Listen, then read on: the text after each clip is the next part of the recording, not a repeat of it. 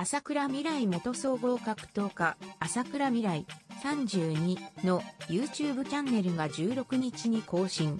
ブレイキングダウン選手らによるヌルヌルローション総合格闘技対決が公開された。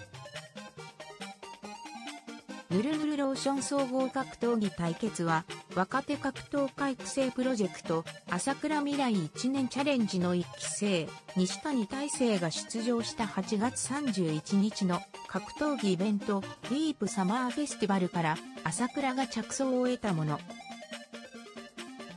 野外会場で総合格闘技が行われるのは珍しく、当時、台風接近で、ケージが雨ざらしとなり、マットがヌルヌルの状態となっていた。足が滑る中での格闘技大会で、出場選手たちは大苦戦。西谷も不意を突かれて敗戦し、この黒星で引退を宣言した。今回の動画は、そんな西谷を励ますという趣旨。朝倉はローションマットの前に西谷を呼び寄せると、ここでさ、今日俺と試合しようよ。俺は西谷くんを救おうと思ってさ、あの試合で最後でいいのかって話なのよ。もし、これで西谷くんが俺に勝つようなことがあれば、と話すと、西谷もすぐ復活するやろなとぽつり。朝倉は、ここでいい勝負すればさ、あの試合は何だったんだってことになってくるしと続けた。その後、ブレイキングダウン選手たちも登場。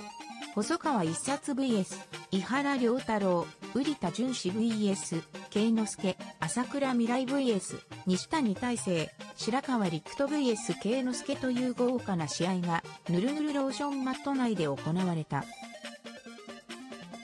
西谷が試合を終えると、他の選手から、西谷くん、引退ダメっすわ。西引退撤回してください。と引き止める声。朝倉が来年あたりに復活しようか。と提案すると、西谷は、そうっすね。